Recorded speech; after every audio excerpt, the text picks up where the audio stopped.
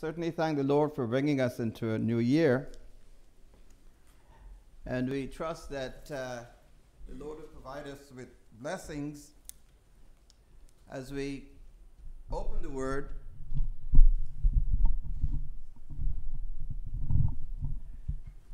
And we um, wait in His presence for something to feed us. He knows what our needs are. We are indeed a needy people, and it's good that we can come to Him in times of need to find refreshment. Now, our topic for today is uh, return and recovery. For me, it's a very refreshing and um, positive and encouraging topic. You know, it suggests moving from what is negative to something positive. It's always good to go from failure and barrenness to fruitfulness and, and blessing. And I think our topic speaks of moving from sorrow, as we would trace some uh, um, portions of Scripture, moving from sorrow to rejoicing, going from a place outside the will of God to being in the current of His will. But you know, return and recovery, I think, uh, always follows failure and departure. A number of years ago, a brother said to me, he said, Wes, you know, God has the best in store for us. It's a very profound statement, I believe.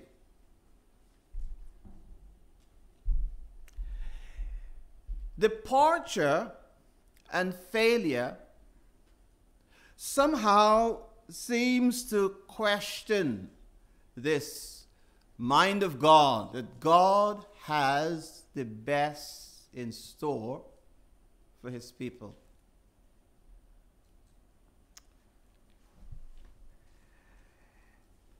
Failure to appreciate what God has in store for us. Failure to appropriate, to lay hold on, to somehow enter in at all that God has made available for us. These are the root causes of departure. Departure results from us not following the path that God has mapped out for us, but also our choosing our own path. God has the best in store for you. Being in a place, in any place, less than what God has in mind is settling for second best. And this is a challenge for you, and it's a challenge for me. As an assembly, that we occupy the place the Lord expects us to occupy. That is, individuals. That I am in this spiritual condition, I am in the place that the Lord expects. The question is can God's richest blessing attend us, attend you, attend me when we are in a pathway of disobedience, when we're outside of His will. You know, if you're here this afternoon who do not know the Lord Jesus as Savior, I want to say to you that God has the best in store for you. You may have turned your back and you may have wandered far from Him. But the message to you this afternoon is that He loves you still. He wants you to come back. He wants you to return. And so, as we consider this topic of return and recovery, I wonder if there is a word, first of all, for any who do not know the Lord Jesus as Savior. And I want us to look at Luke 15. If you have your Bibles, Luke chapter 15.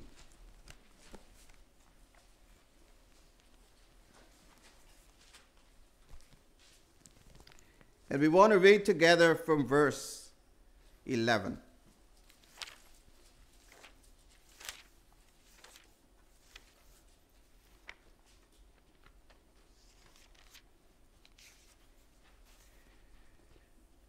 In Luke chapter 15, verse 11, it says, the Lord Jesus speaking, he says, A certain man had two sons. The younger of them said to his father, Father, Give me the portion of goods that falleth to me. And he, the father, divided unto them his living. And not many days after, the younger son gathered all together and took his journey into a far country, and there wasted his substance with riotous living. And when he had spent all, there arose a mighty famine in that land.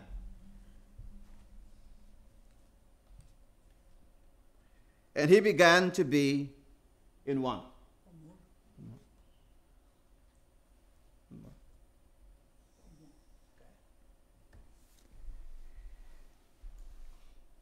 And he went and joined himself to a citizen of that country and he sent him into his fields to feed swines.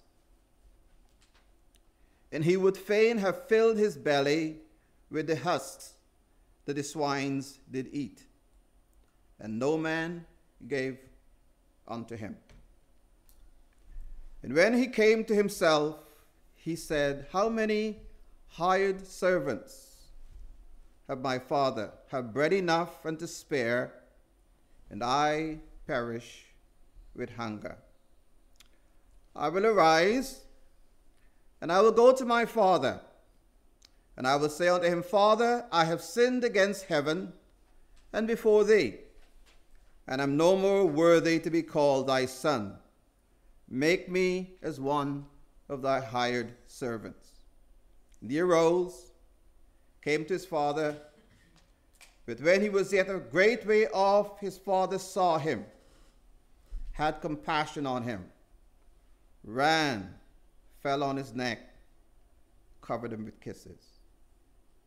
The son said unto him, Father, I have sinned against heaven and in thy sight, and am no more worthy to be called thy son. But the father said to his servants, Bring forth the best robe and put it on him.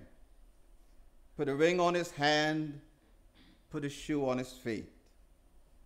Bring the fatted calf and kill it. Let us eat and be merry. For this my son was dead and is alive again. He was lost and is found. And they began to be in one.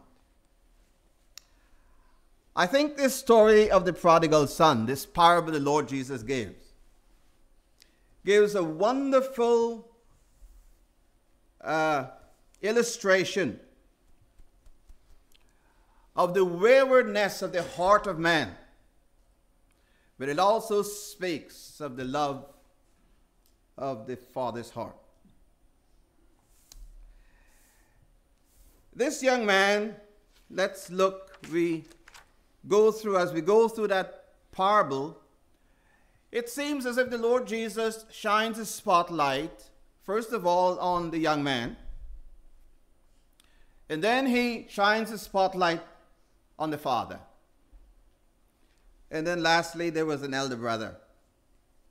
And maybe later on this afternoon or maybe tomorrow we'll touch a little bit about the elder brother. But let us first of all consider this young man. The wayward heart of the sinner. He represents one who is unsaved, an unbeliever, who does not know the Lord Jesus as Savior. There's departure and there is distance. And so we have that sin has separated. The Word of God says your sins have separated you from God. Sinful man, man, natural man, wants to put distance between himself and God. All his actions and all his behavior, as it were, they're contrary to the mind of God and contrary to the will of God. He wants no constraints, no subjection, no um, submission. He wants what might be called freedom. And there are many today who, like this young man, they want to relieve themselves from any constraints. They want to, as they call it, live it up. So he puts distance between himself and the Father. And so um, we find that he went after fun. And I was thinking he had friends.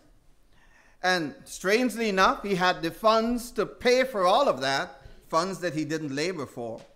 And, you know, people might think that that is really living life.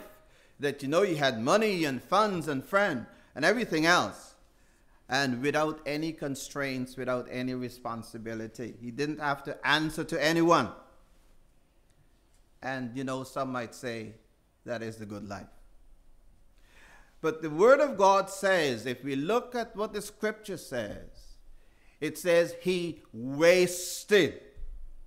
It is as if the Spirit of God would write over what he thought was fun and, and having a good time.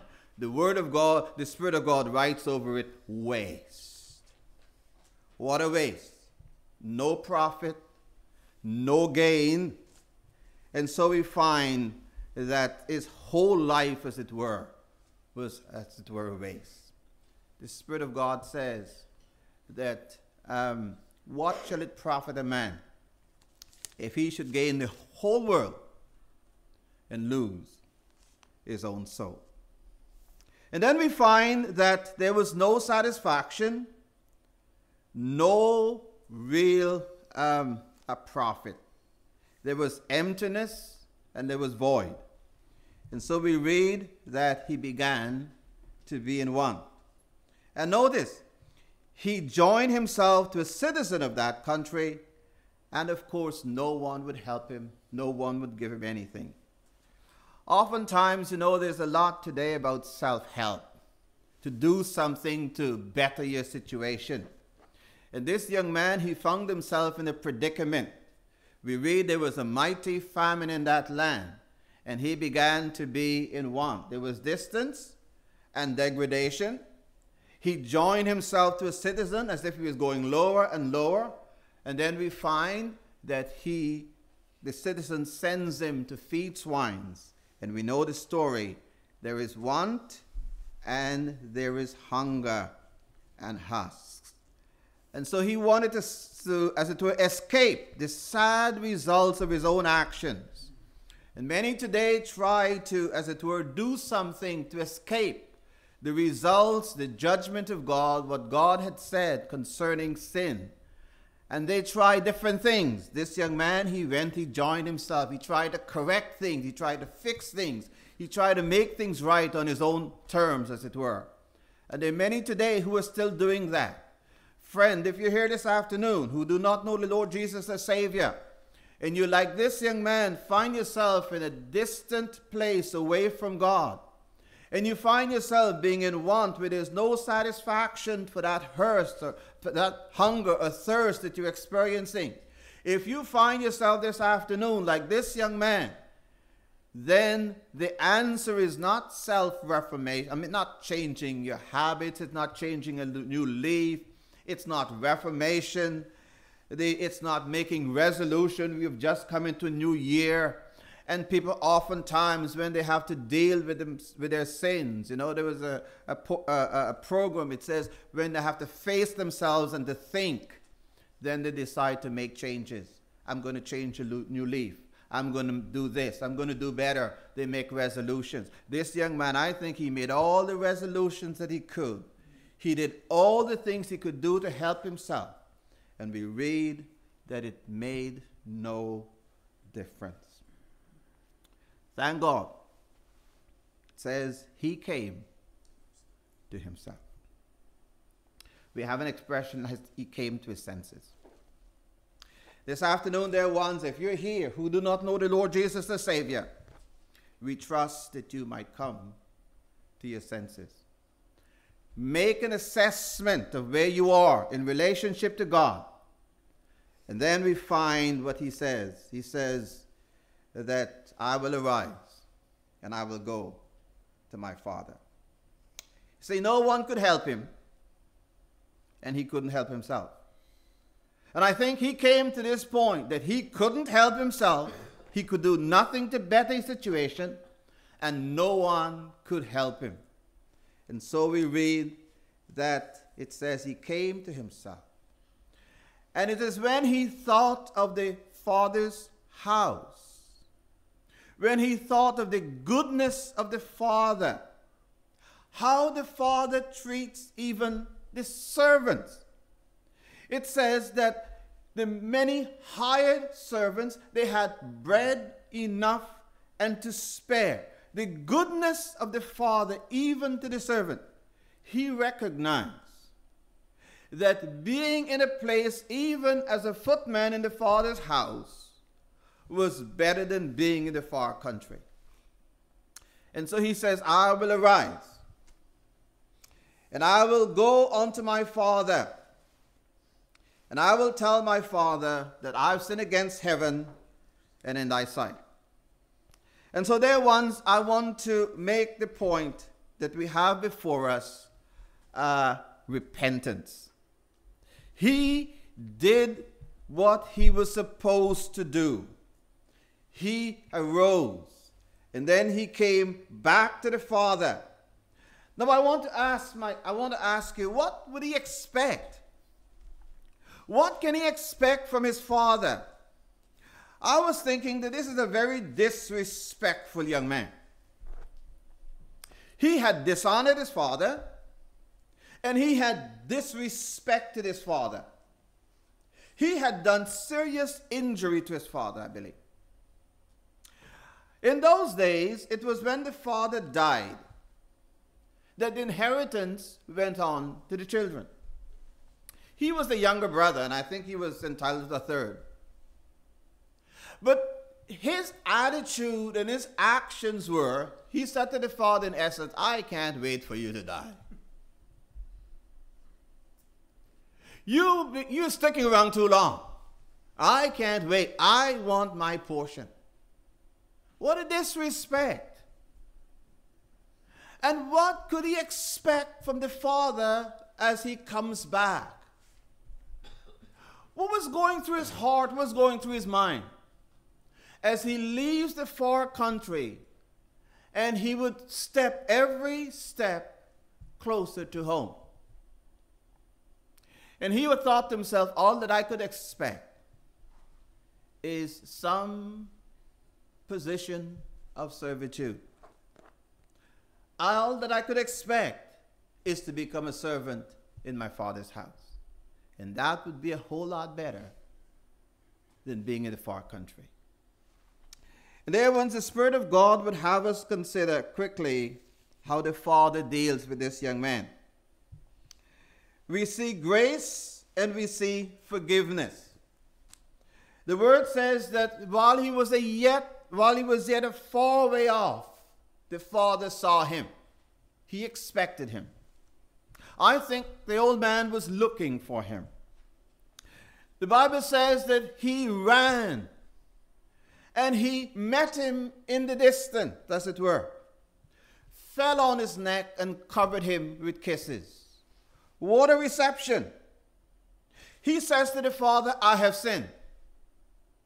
And dear ones, as we're going to trace this afternoon, confession, repentance, and confession is always a place to begin. He says, I have sinned. God expects us to own up and to confess, not to hide, not to cover, but to own up, to confess. And he says, I have sinned against heaven and in thy sight. I am no more worthy to be called thy son. And the next thing we know, he was going to say, Make me a servant. But as it were, the father interjects, the father stops him. He said, That's enough. He tells the servants now to serve him. Think of the rags of the far country. Think of what he comes back, what he brings back. And the father says, You know, bring the best robe. Not any robe. Not bring an old robe. Put it on him. Bring a shoe and put him on his feet. The Father, as it were, elevated him, put him into a position of dignity. And the Father took him at his own table, as it were, and to have fellowship and communion with him. There once it's far above what he expected. What grace does goes far above and beyond. When he came back into the Father's house, into a place of nearness, and in a condition that was suitable to the Father's house. Something that was expressive of the Father's own heart. I think he thought he did not deserve that. But this is expressive of the Father's love. What a welcome. What a reception. It was beyond what he expected.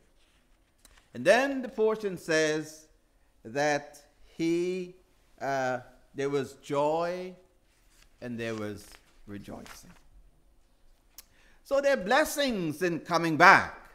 There are blessings in returning. God is still, as it were, calling the sinner. And if you this afternoon, dear one, are like that prodigal son who have found yourself away from God, as it were, in the darkness and in the distance.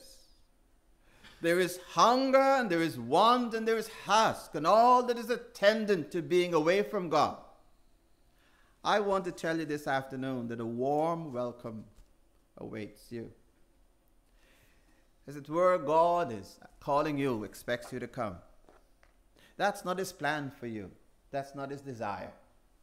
He would have you in a place of nearness to himself and a place of blessing. And so that's the gospel word for, the, for any this afternoon who do not know the Lord Jesus as Savior. But is there a word for those of us, dear ones, you and I, who know the Lord Jesus as Savior? Could there be departure and declension in the believer as well? Is it possible that you or I, we have left the place that God has marked out for us? and chosen a path of our own. You know, I would like us to look at a couple of examples this afternoon. And I have before me the book of Ruth. In Ruth chapter 1. And I have some of these slides on the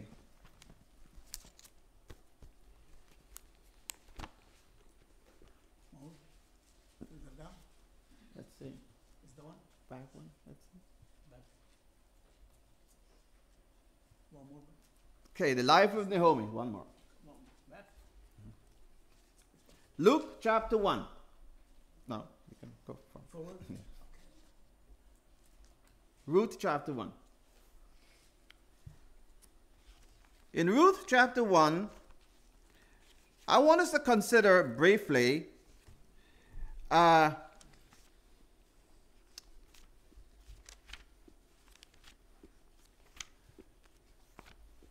departure and return as it concerns the believer.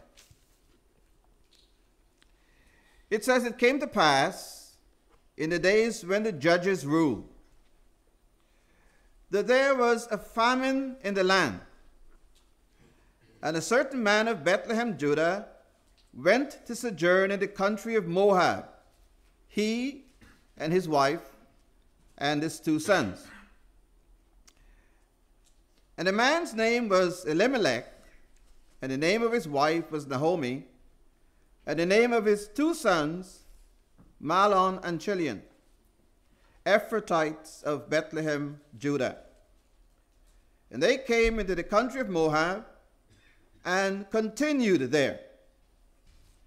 And Elimelech, Naomi's husband, died, and she was left and the two sons.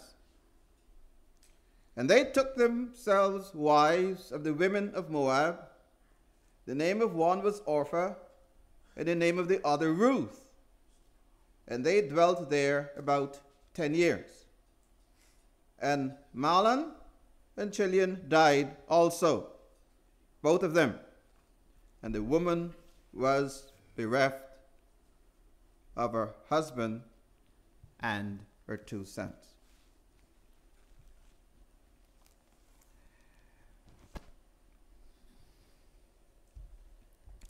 The first chapter in the book of Ruth, it gives us a panoramic view of a believer's departure and return. The first verses, it gives the condition of things in the time in which they live. And you know, there are ones as we go through the scriptures, God, as it were, gives us examples of people and the Spirit of God tells us the time, the day in which they were living. And the Spirit of God would highlight for us men and women who were faithful in their day and in their time, and the circumstance in which they found themselves. And I want us as we go through that we would also examine, in the light of our day and our time, and how are we living in this day in which we find ourselves? We have before us, as it were, the Spirit of God talks about a whole country. The condition of things, you might say, nationwide. In these first verses, it speaks of this the land of Bethlehem, Judah in a broad sense what was going on. The spotlight then focuses on a family. So they're national events, national things. But then they're domestic things in a family situation. And then we have the individuals, each individual in the family. And I want us to suggest, I want to suggest as we go along and look at these portions, and we want to use Elimelech, first of all, as a believer who has backslidden, one who is outside of the place that God would have him to be. But I want us to consider as we go along that there are individual responsibility. There is a responsibility for you and for me individually to be faithful in the circumstance, in the scene in which I find myself. And there can be departure and there can be failure, declension away from the place where God would have me to be. Never mind what goes on, you might say, in the broader sphere. There might be problems in the larger sphere. Maybe in the home, maybe in the assembly, maybe in the country. But God still expects me to be faithful in the circumstance that He has placed me in. And so we find this man, this family, first of all, living in this place, Bethlehem, Judah.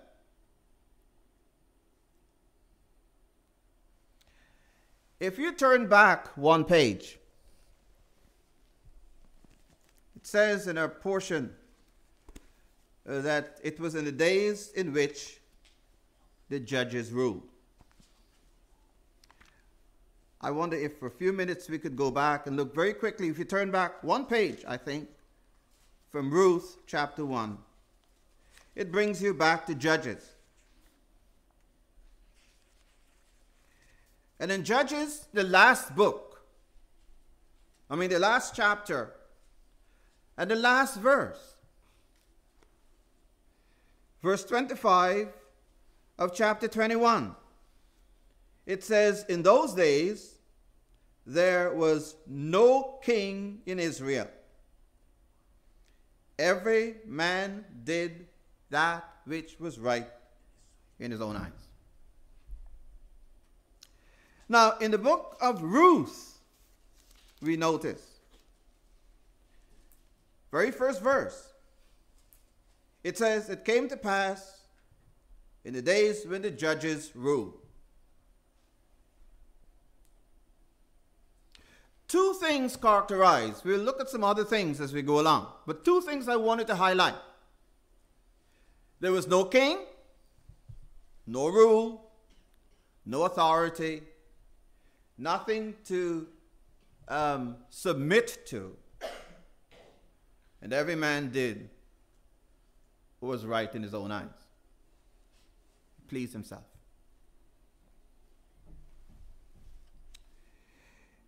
If we go back in the book of Judges, a few chapters, a few uh, chapters, we would see the sad, sad condition of things.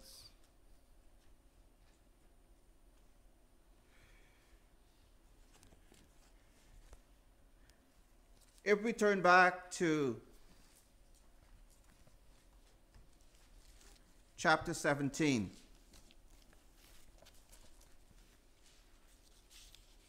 Judges chapter 17.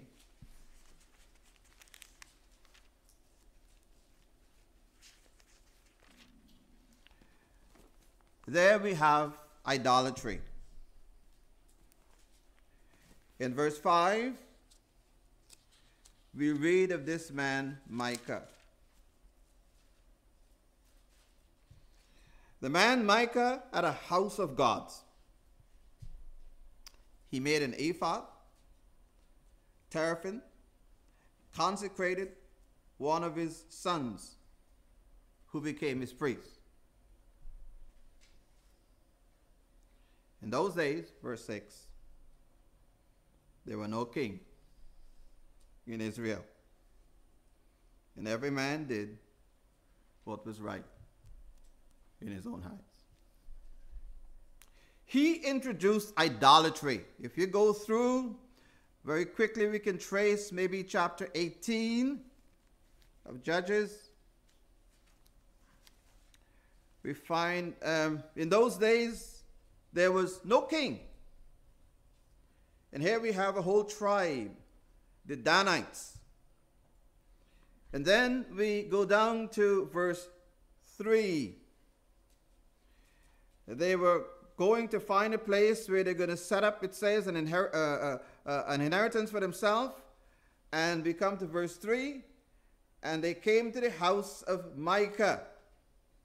And then they recognized the voice of this young man who had become his priest. And they turned in there and they said unto him, Who brought thee here? And what doest thou in this place? And what hast thou here? And then he answered them, he said, Thus and thus dealeth Micah with me. And he had hired me, and I am his priest. He's a hired priest. You go down to chapter, um, to verse 17 of the same chapter. We read that um, some men went to spy out. Verse 18 and when they came to Micah's house, they fetched the carved image and the ephod and the teraphim and swan and the molten image. And they said unto the priests, um, unto them, uh, and the priest says to them, What are you doing?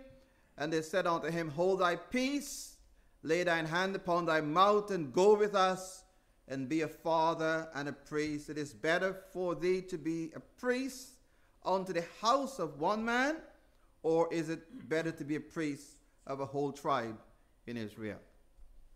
Confusion, idolatry. This was what existed in the days when the judges ruled. Now, this is the day in which we have Ruth setting.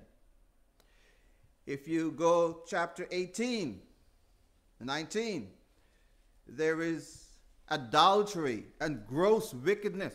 If you read in chapter 19, the gross wickedness in the, uh, that takes place. If you go to verse 20 of uh, chapter 19 very quickly.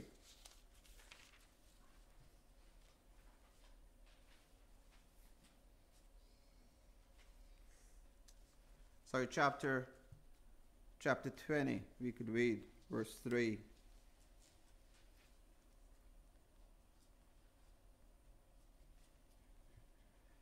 Says, um, the end of verse 3 Tell us how was this wickedness? They're asking the, the man that it happened to. And the man of Gibeah, um, sorry, verse 4 and the Levite, the husband of the woman who had was slain, answered and said, I came into Gibeah that belongeth to Benjamin, I and my concubine. And the men of Gibeah rose against me and beset the house round about, and thought that they would have slain me and my concubine. And they forced her, and she is dead. And so he, I took my concubine and cut her in pieces and sent her throughout all the country of the inheritance of Israel, for they have committed lewdness and folly in Israel. Such is the condition of things in the days when the judges rule. And lastly, uh, there is civil war and there's destruction in the days division when the judges rule. But um, in chapter 8, sorry, chapter um, 19, I want us to turn quickly to verse 29, chapter 19.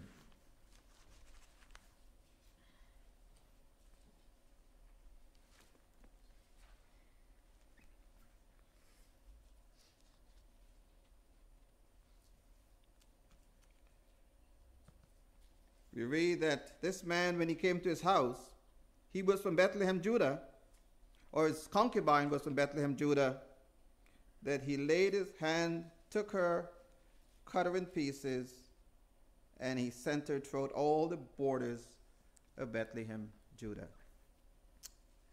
So, my point is that there was gross sin and wickedness all around. And every man was doing what was right in his own eyes. If you follow the story of the Levite, the young man, he was also from Bethlehem, Judah. In chapter 19, it says that uh, in verse 1 it came to pass in those days when there was no king in Israel, there was a certain Levite sojourning in Mount Ephraim, and he took to him a concubine out of Bethlehem, Judah. So we find this concubine was connected with, with uh, Bethlehem, Judah. We find this young man who was the Levite, the priest. He was connected with Bethlehem, Judah. And if you read the account, if you go through, you would see that he was actually a grandson of Moses. He was a son of Gershom, a grandson of Moses gross sin and idolatry and idolatry in the land. And so when we come to Ruth chapter 1, we have this family. And the nice thing about it, it says that this man, he um, was living in Bethlehem, Judah, the house of bread. His name was Elimelech. God is king. My God is king. And his wife, Naomi, her name means pleasant. Pleasantness. How refreshing in a way. That in the midst of all this confusion and evil and idolatry and war and all that's going on, because if you look at the end of, of the, the, the, the chapters we have in the end of Judges, actually, it's like an appendix. It belongs to what was going on actually in the times when the judges were ruling. But in the midst of all of this, there is this little family. And he was saying by his name, by his profession, my God is king. Never mind what's going on out there. Never mind all the confusion, all that's happening. Every time somebody called him Elimelech, he was saying it was a testimony, as it were. It was a profession. My God is king. And his wife, pleasantness. Wonderful expression, is it not? And yet we find that we read that he left. It says that he left. Can we?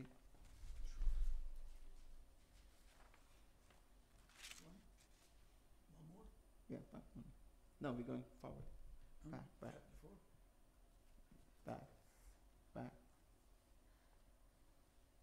Back some more. Yeah. One back. One more. One more.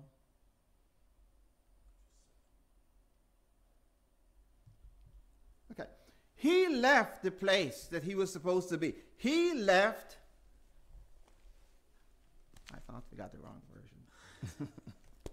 he left Bethlehem, Judah, and he went to Moab to sojourn. And this is my point. Elimelech, he had a profession. He was saying, in essence, that this all this confusion and no one is bowing to any um, uh, uh, uh, uh, authority. But for me, my God is king. But what we find is that when the trials and the difficulties came, that he did not act in accordance to the profession that he made. He acted outside of the will of God. Bethlehem, Judah was the place that he was supposed to have been.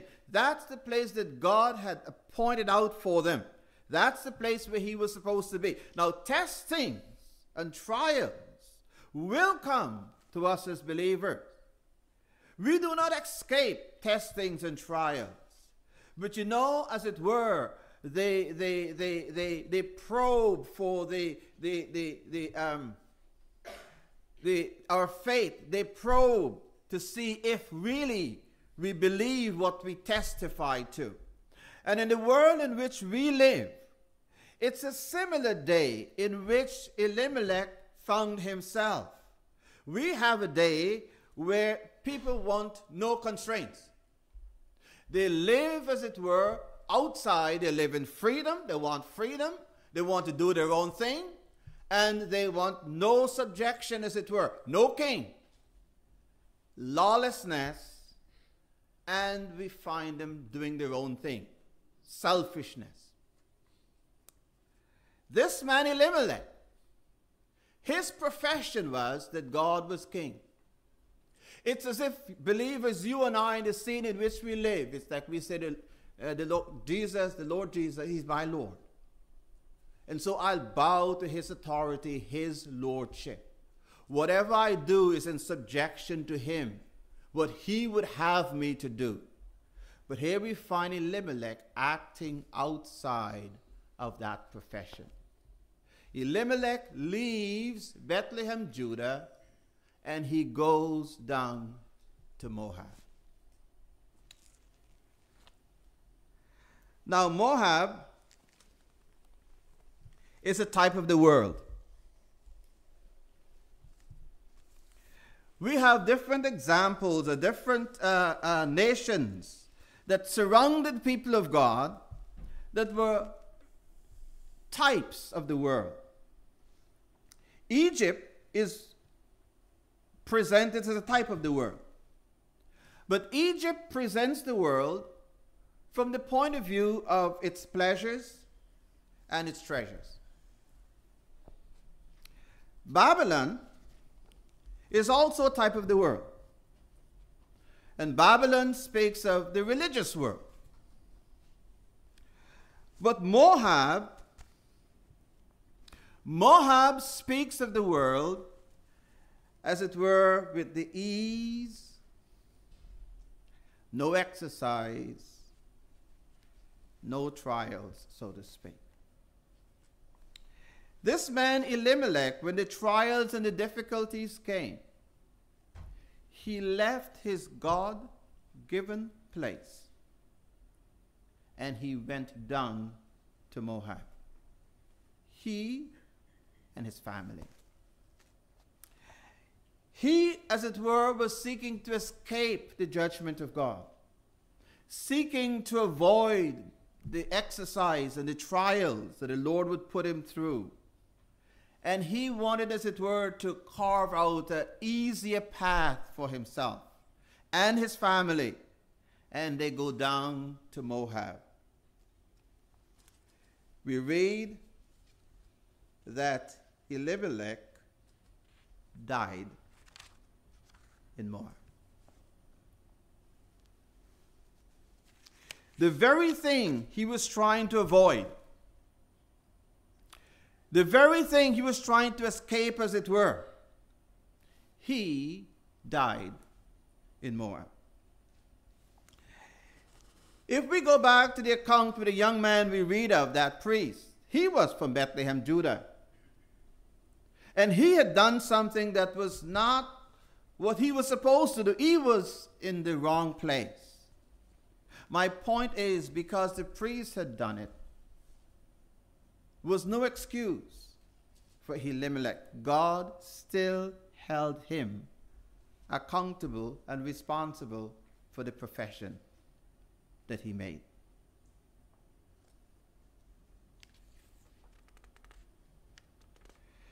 So Elimelech brings before us backsliding, not being in the will of God, pleasing self, denying the lordship of Christ. And there ones I wonder if sometimes Moab doesn't have an attraction for you and for me. Sometimes we reject, as it were, some of the grosser things that uh, uh, tempt us, as it were. But sometimes it is uh, the ease and the comfort. We don't want to be exercised. We don't want to have to go through trials and difficulties. We try to escape, as it were, anything that would cause us to, um, to grow spiritually, to make movement, uh, uh, to move in relationship to our spiritual growth, and so that we might be here for testimony and witness for the Lord Jesus. So, Elimelech, we read, that he died in Moab.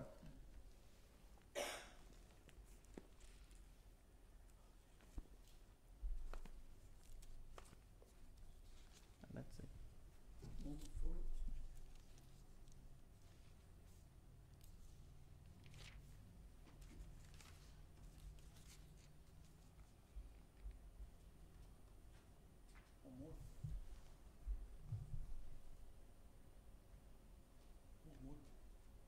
Yeah, I'm, I'm still thinking that you have the wrong one. this is the case. So Le- Elimelech brings before us leaving. Go back. Back one. Leaving the place that God has marked out for us, trying to avoid trials and um, circumstances looking for easier path, seeking to please sense, seek- seeking to please self, and uh, being outside of God's will. I still think we, yeah. I think uh, we have.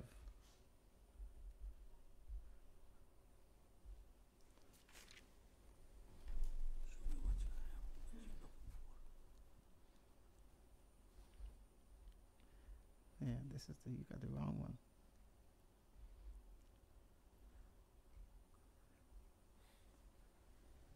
Okay, so you have the wrong one. I don't have the right one. No, sorry. Okay. So we're saying that in terms of Elimelech, it's a warning that we need to take heed. To leave the God's appointed, uh, God's appointed place, taking the path of a backslider, and continuing in a false position. And what we have in Elimelech is that there is no return, no recovery. Elimelech died in Moab. What Elimelech did also affected his family. It affected his wife, it affected his children. The point that we wanted to make, and we don't have the slides up, is that God also has a purpose even in famine. There's a lesson that we can learn even as we go through circumstances in this pathway, trials. God has a lesson for us to learn. And uh, uh, because of the sin that was going on in the land at the time, because of the difficulties, we find that God came in in judgment. And God's people had to experience the judgment of God because of sin. And that should have exercised uh, Elimelech. To be in the path that God would have us to be is going to cost us something. There is sacrifice often associated in us being in the place that God would have us to be. And the danger, the, the attraction is to try to get to an easier path, an easier place, to somehow escape the, the trials and to escape uh, uh, uh, uh, what God might allow to happen. And so, what we do is we find ourselves in uh, Moab. We find ourselves in a place where there's no exercise. We find ourselves in a place where there is no growth. And so, um, Elimelech serves as a warning.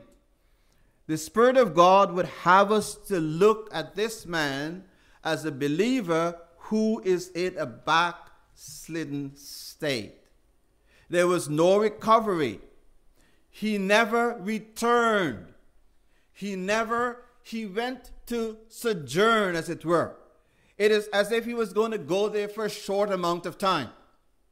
We read that he died there.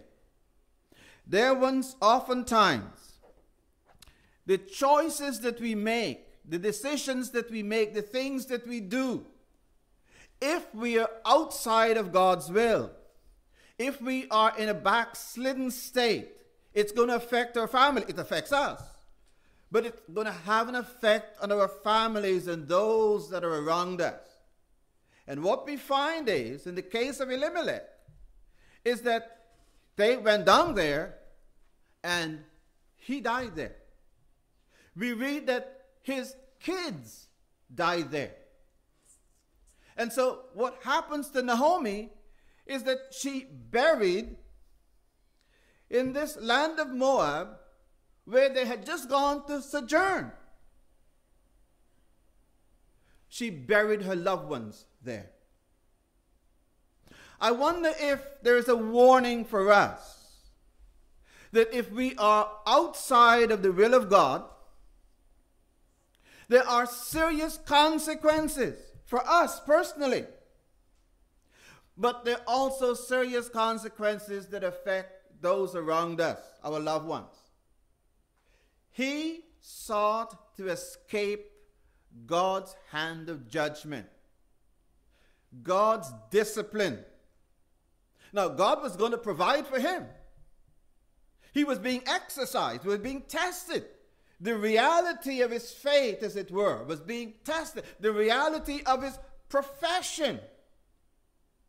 He was walking around his name God is my king. My God is king. That was the profession that he made. And as it were, as it, God would, would hold him to it. There was the warning for you and for me. We profess to know the Lord Jesus as Savior. We profess the Lordship of Christ. That we bow to the Lordship of Christ. But in our actions and in our attitude, are we really representing this? Are we really showing this? What we say with our mouth, does that come through in terms of the reality in our lives? That Christ is really Lord, and whatever we do is in accordance with His Lordship. And this was the challenge for Elimelech. This was the challenge for him. This was his exercise. This was his test. Now you claim that God is your king. Live it out. Demonstrate it practically in the place where God would have you to be. So I wanted us to use, and our slide is not working, but I wanted us to use this man Elimelech as a warning. It's a warning of a backslidden believer, one who is backslidden a backslider. You know, a backslider is not a nice term. None of us want to be called or to be, you know, uh, identified as, as backsliders. And so the Spirit of God would bring before us, as it were, this man Elimelech. We look at the conditions under which he was living. We look at his profession. We look at the test of his witness, as it were, and how when the trials came, we read that he went down to Moab. Not only he went there, the word of God says he went to sojourn, as it were, as going for a short time. Ten years later, we read, we read, and they continue. I wanted to show. They continued. No, it's not. I'll have to change the slide. They continued there. They went to sojourn, they went for a short time, but they continued. And then we find this tragedy in the family of this, this man. His wife, his children, they married the women of Moab. You know, somebody says that sometimes as believers, we, we seek the things of the world. Our children often go further. They seek the world itself. This man, his children, again outside of the will of God, they married wives of Moab.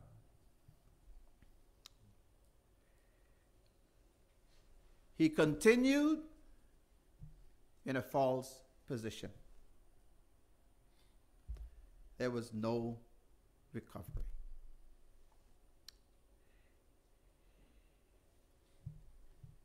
God has a purpose, has a lesson for us, even in a famine. Elimelech failed to learn that lesson. So when we began, we began, we spoke of the prodigal son. It was a gospel message that God has the best in store. God has the best in store for us, for you, for me. It is when we fail to really appreciate that truth, when we fail to, to enter into it, then we, we depart. Then we wander away. Then, as it were, the pathway that He has marked out for us seem to be too straight. And we choose a pathway of our own. But uh, God is a God of return and of recovery.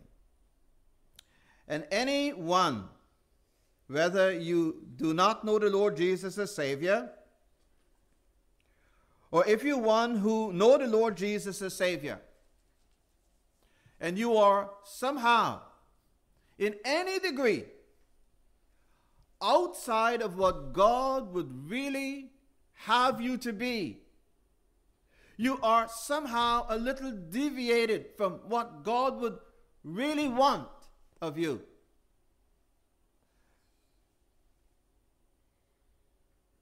Then we are not in the place of richest blessings. And God's desire is that He might have you, have His people in close relationship to Himself. So, as believers, we also can be in that place that represents departure and a place that is away from where God would have us to be. Now, our next topic, we want to look at Naomi and we want to look at return. So, after the break, we want to, by the help of the Lord, to see return and restoration as represented in Naomi. How the Spirit of God would show us that there is failure, but there is also return and recovery. There are blessings associated in being in the place where God would have us to be. There might be a cost. There is going to be exercise. It costs more. It costs more of us to be in the place where God would have us to be than to be in a place of our own choosing. And this is the challenge for you and for me.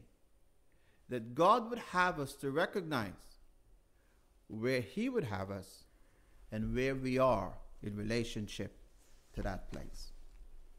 So, God grant that as we come back to the next half of our lecture, that we would see the positive side of return and recovery for His name's sake.